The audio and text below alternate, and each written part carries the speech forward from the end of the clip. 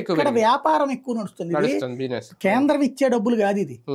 మనం ఇక్కడ సరుకులు కొంటే కొన్నందుకు మనం ఇక్కడ పన్ను కడితే ఆ పన్ను రా కేంద్రం తీసుకుని మనకు వచ్చే మనకు వచ్చే నలభై రెండు శాతం వాట.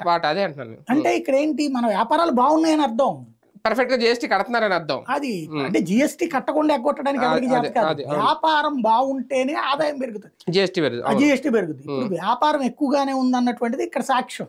అవును మనం ఇప్పటిదాకా నాశనం అయిపోయింది నాశనం అయిపోయింది. నేను చాలాసార్లు చెప్పాను కదా ఆర్థిక పరిస్థితి నాశనం అవడం ఏం లేదు. నోటి మాటతో నాశనం లేదంటే భయపెట్టడం నాశనం. మనకి ఎకనామిక్స్ చాలా మందికి అర్థం కానటువంటి అంశం. కాబట్టి ప్రజలను భయభ్రాంతులు చేయడం సులభం. ల్యాండ్ టైటిలింగ్ యాక్ట్ ఉంది ఫర్ ఎగ్జాంపుల్. ఏం చేశారు?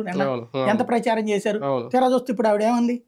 మనం ఎప్పటి నుంచినో చెప్తున్నాం. అవును, నేను. నీతి ఆయోగ్ అది కేంద్ర ప్రభుత్వం ఇష్యూ. కానీ రాష్ట్రాలు అమలు చేయాలి అన్నటువంటి రీసర్వే చేయండి.